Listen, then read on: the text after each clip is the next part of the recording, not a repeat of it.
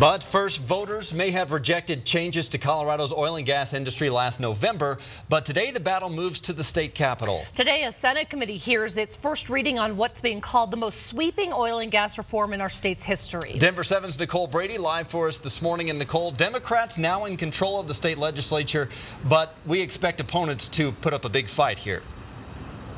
Absolutely, Brian. Already several opponents, uh, several oil and gas industry groups, as well as Republicans, have urged Democrats here at the state legislature to postpone today's first hearing on that bill. Doesn't look like that's going to happen. I think the hearing will get underway today. Uh, Senate Bill 181, no doubt, would have a, a major impact on the state's oil and gas industry, largely because it puts so much control in the hands of local governments. Currently, the state regulates the oil and gas industry. This bill would give local local government's authority over the location of new wells and allow them to impose fines if needed. Another big piece of this bill is that it directs the Colorado Oil and Gas Conservation Commission to prioritize health and safety and the environment when considering oil and gas permits.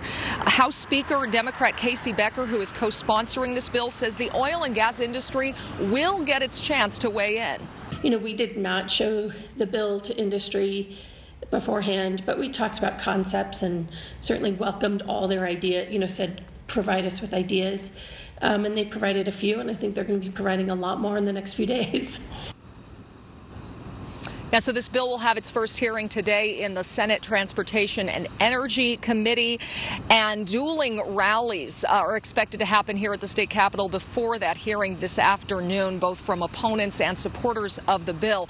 But if you thought that Prop 112 back in November was the end of this, uh, certainly not. This is the big battle. This is the future of regulation of oil and gas in our state, and it starts today. Molly and Brian, back to you. Still lots to come, and we've heard from viewers who feel these decisions should be made by voters and not the state legislature. And just as Nicole mentioned, you'll remember back in November, Colorado voters turned down Prop 112. That would have increased the setbacks oil and gas wells had to be from homes.